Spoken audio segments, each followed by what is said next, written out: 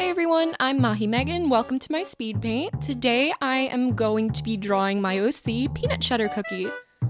Although this video is unscripted, I do have some notes over on the side so I don't completely go Thrillville off the rails.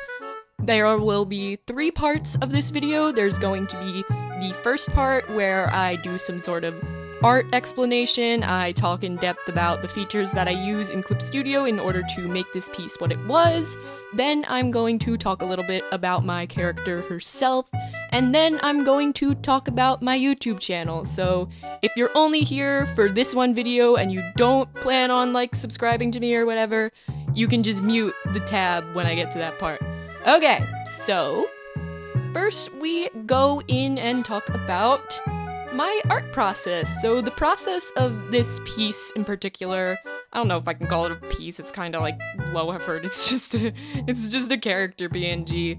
Is I first sketched it out on paper because personally I still really enjoy sketching on paper, even if it's not as easily manipulatable as a digital sketch. I just like the tactile feel, I suppose. I I just always feel as though, like, when I sketch on paper, it just turns out better. It's something in the back of my mind tells me that. It might not be true, it might be true. Not sure which is right. So, I did that, and then I used the transform tools here in Clip Studio in order to manipulate it a bit to look more close to Cookie Run proportions. They're not exact, but they're in the general ballpark, ballpark, ballpark, I would say.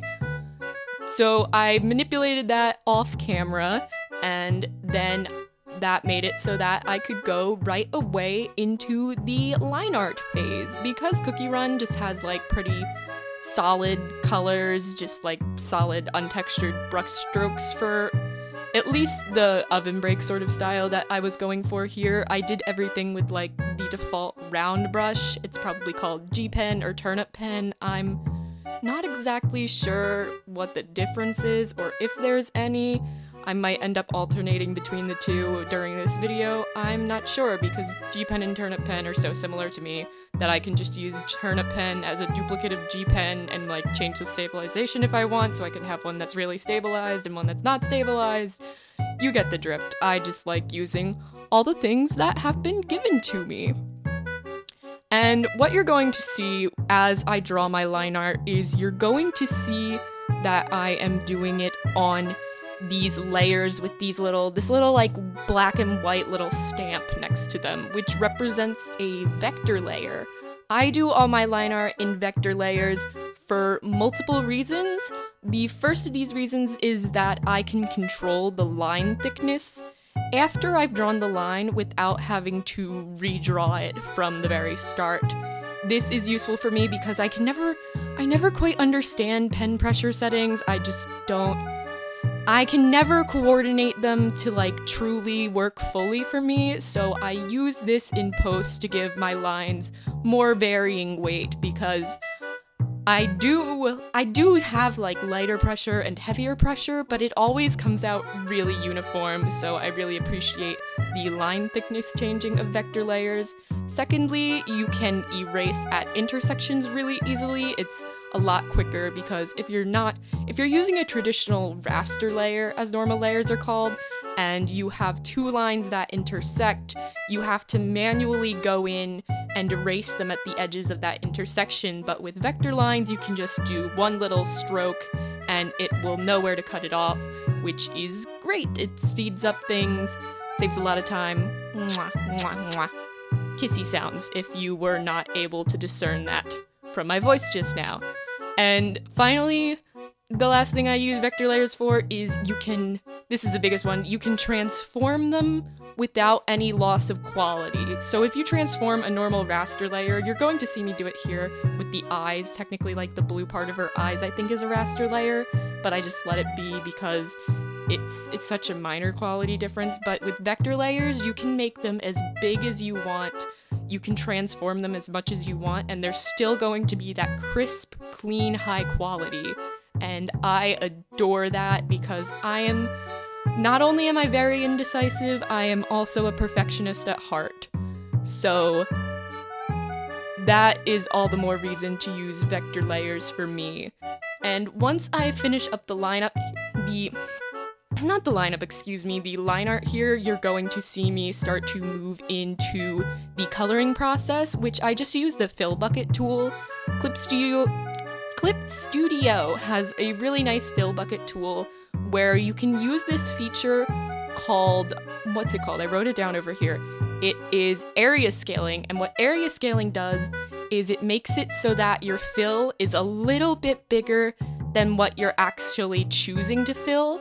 So if you have your line art layers on top of your filling layers, your fill will go a bit underneath the line art, so there's no like little white line against the line art. You can make it up to like 20 pixels big bigger, which is good if you're using like a textured brush and then it like doesn't get underneath all the texture. You can use area scaling to kind of mitigate that.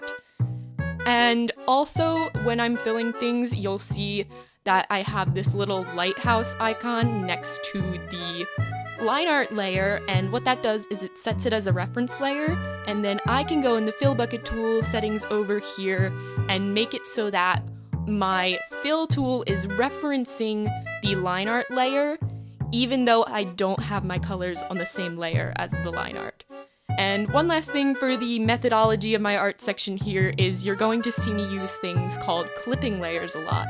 And what a clipping layer does is it only shows up, like whatever changes you make only show up on the lines of the layer beneath it. So say I wanted to change the color of the line art, I could make a new layer, fill the entire canvas in with pink, and then my whole art would just be this big pink square.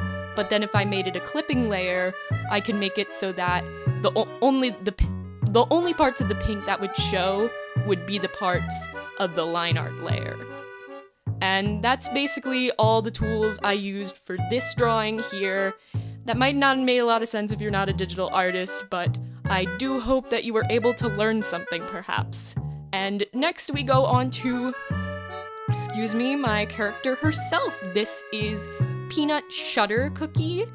It's a pun on peanut butter and then like the shutter of a camera because you know they go click click, peanut butter, peanut shutter.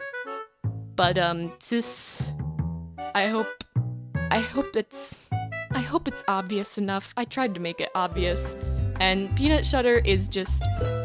There's this meme the Daniel and the cooler Daniel. Peanut Shutter is the cooler YouTube user Mahi Meghan. She's me with a lot less social anxiety. She's more composed. She's more funny, more witty, less of, oh, I have to write my scripts in order to be witty, and more of just funny on the fly.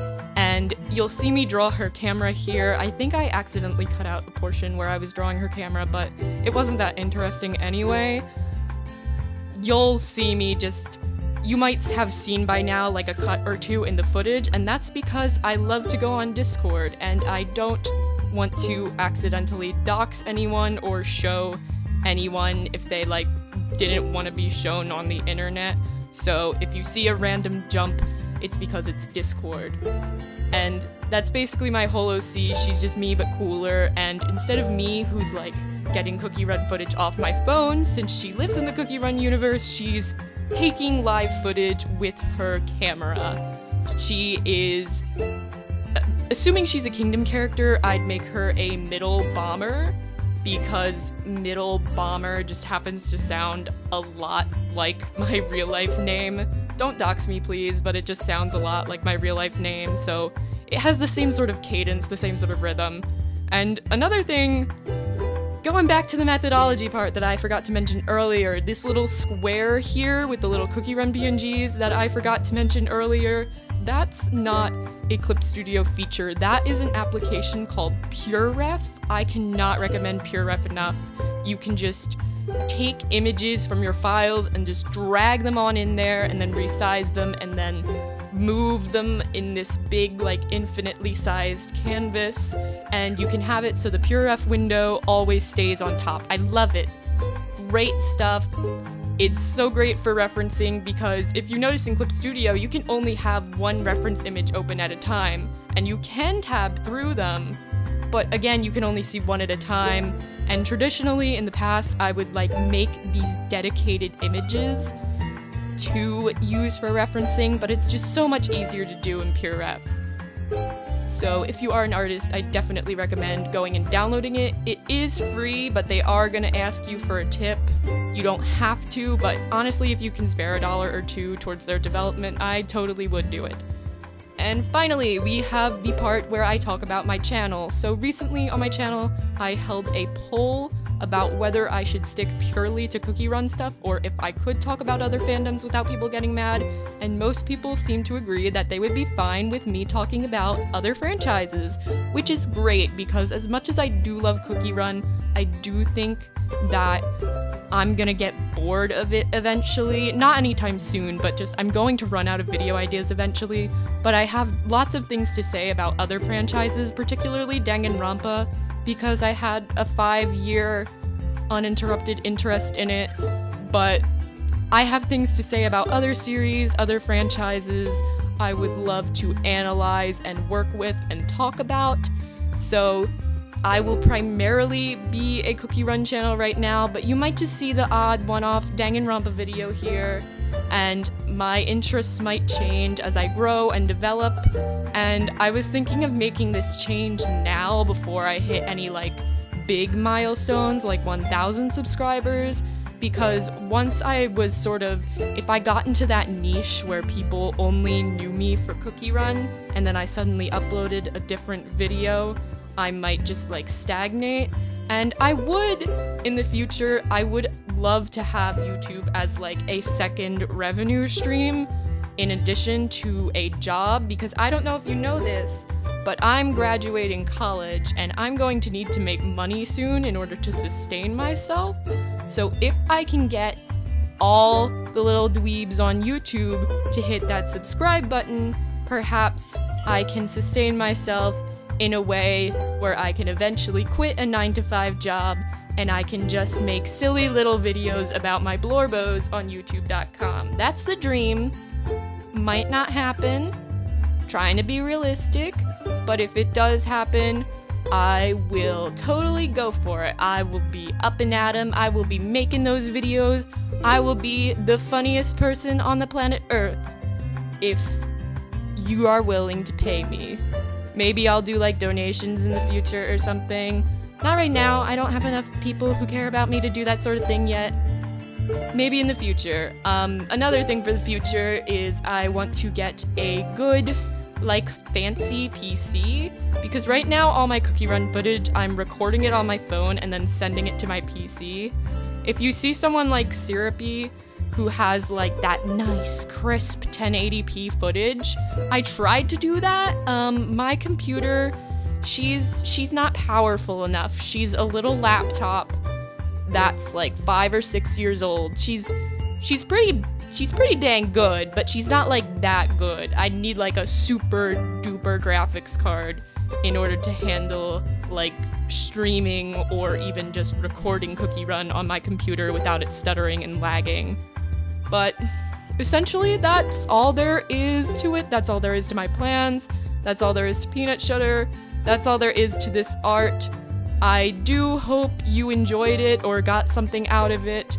And if you just had me muted the whole time, I know you can't hear me right now, but I hope the music you chose to play over me was swanky as hell.